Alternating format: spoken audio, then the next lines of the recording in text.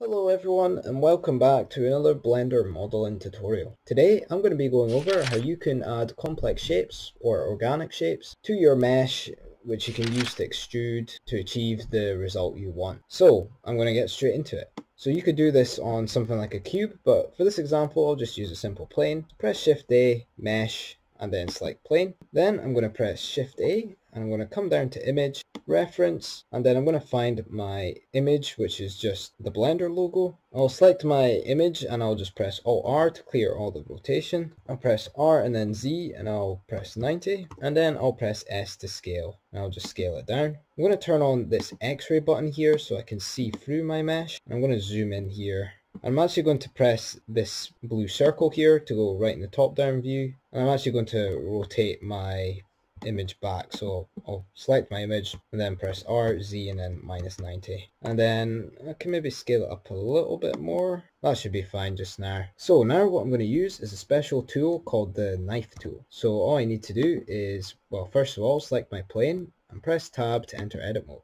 Then I'll press 1 on the keyboard to make sure I'm in vertex select mode, and then I can press K on the keyboard to access the knife tool.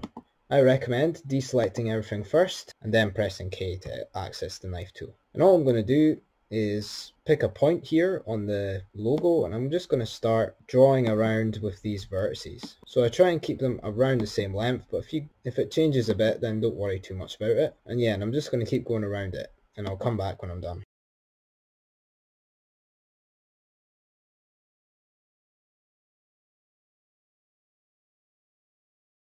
Alright, so I just selected this final one to connect them all, and now what I'm going to do is select this vertex here, and then press G and Y to bring it up a wee bit, it looks a bit nicer. Now I've done that, I'm going to press K again, and now I'm going to create a circle around here. So I'm just going to start selecting again.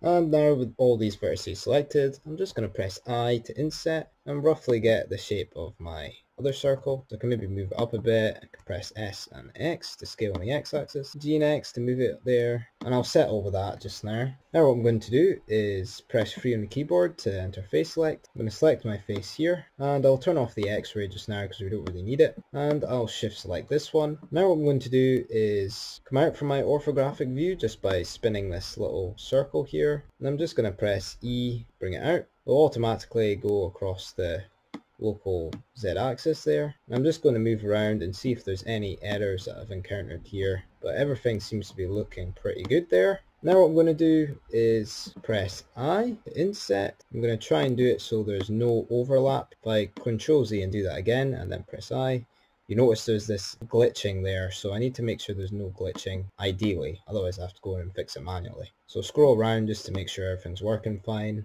Looks good to me. Now I'm going to select my face here and I'm going to press E just to bring it up, just to give it a little bit more depth. I'll press this, this green circle here, then I'll just press G and then Z, and kind of even up. About there should be fine. And I'll press I there as well. Excellent. Now the first thing we need to do is fix up this topology because what we're going to do next is add a subdivision surface and Blender isn't going to be able to calculate how to subdivide this because there's so many edges on one face. So we need to turn this face into quads. If I press 1 on the keyboard to enter vertices select mode, a quad is essentially a face with four edges. So I'm noticing here there is a little bit too many vertices here but we can still work with that. We'll just uh, select this one here and then control left click this one here so it picks the shortest path here.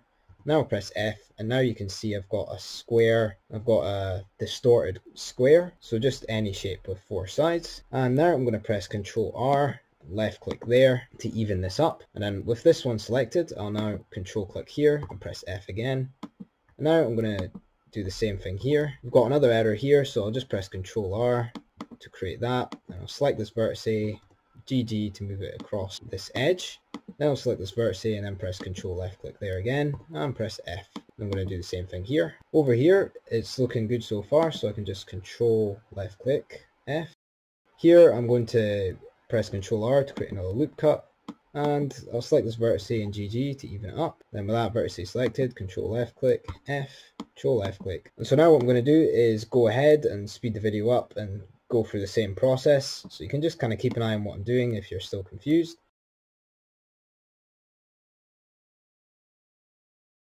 Alright, so now we've done those three bits on the Blender logo. So you'll notice here there's an edge going through there and to fix that I'm just going to press 2 on the keyboard to enter edge select, select this edge and I'm just going to press X edges. And you'll notice that that's deleted quite a lot but don't worry we're going to fill this all in. I'm going to do the same here, select that edge, X edges and now I'm going to show you what we're going to do next. You can uh, turn off this logo image if you like so just press that I button there and turn it off in render view as well but I'm going to delete it later anyway, so it doesn't really matter. So I'm going to select this edge here in edge select mode. I don't know if you can see that too well, but it's highlighted in white. Then I'm going to shift select this one here, and then just press F. And I'm just going to do the control left click process again. I'm going to switch the vertices select mode so you can see it easier. I'll just press F, and I'll keep going.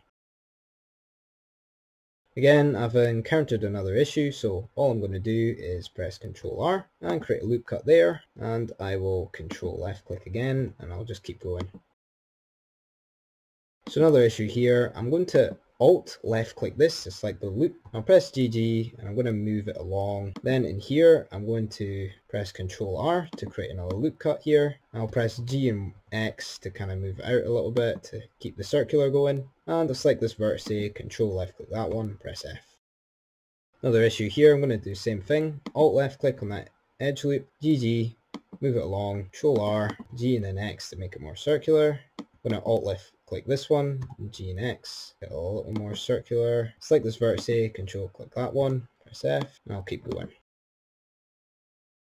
This time I'm just going to move this one, so I'll just press GG, move it down a little bit. I'm going to do the same here as well, select that one with Alt left click and then GG.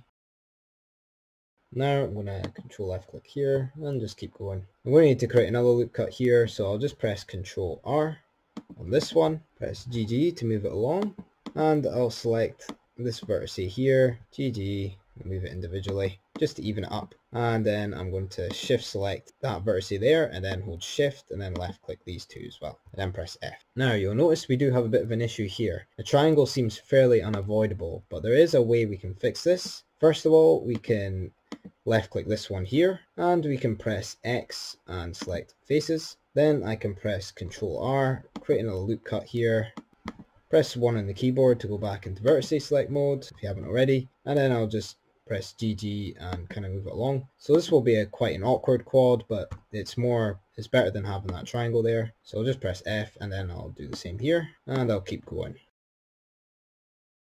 For this one, I'm just going to create a quad out of this and I will create another loop cut here. Control R, move it along, select the individual vertex and move that along too.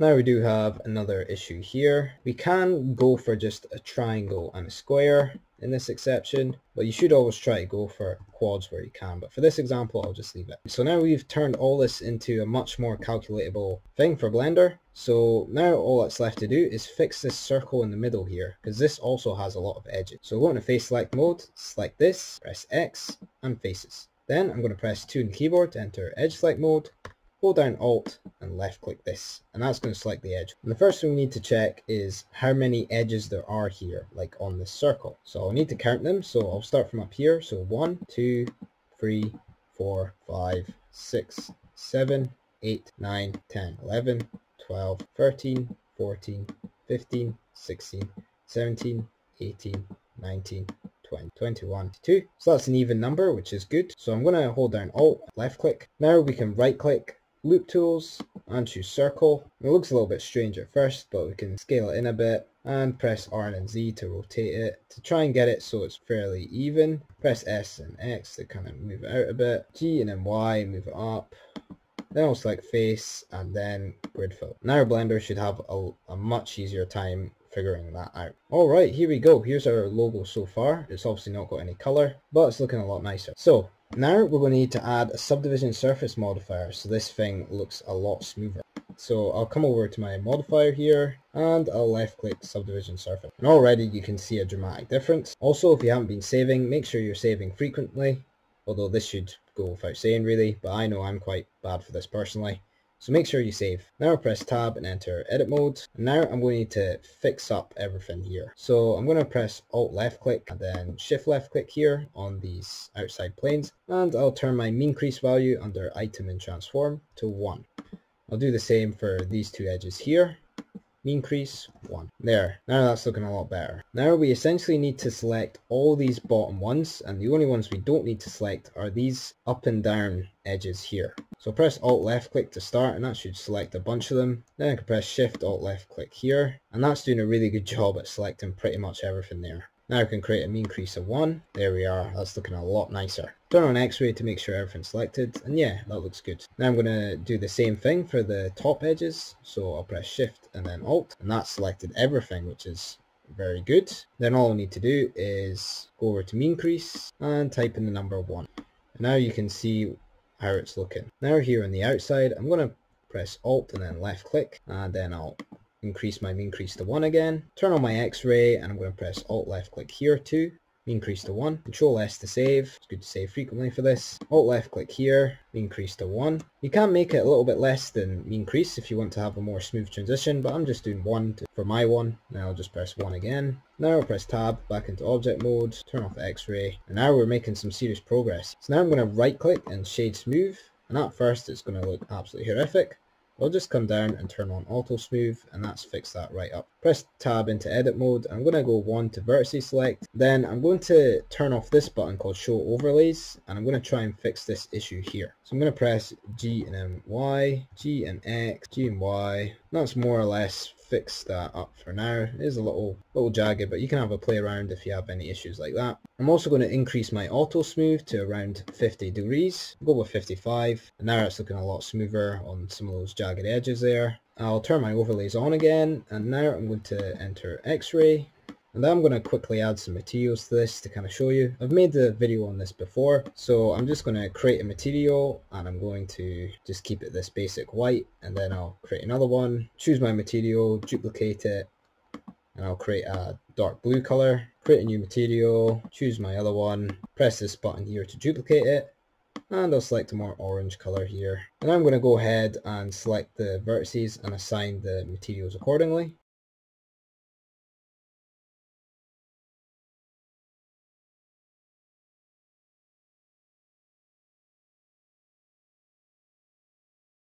And there we have it guys, that's our logo finished. It can be a little bit laggy when you're working off a plane like this, but it's a method that works nonetheless. So just consider how much subdivisions you're using. I think try keep it as low as possible with your subdivision surface modifier. But yeah, hopefully you found this video useful. If you did, make sure to like and subscribe and hit the notification bell if you want to be notified when I make more videos. Thank you very much again and I'll see you all in the next video.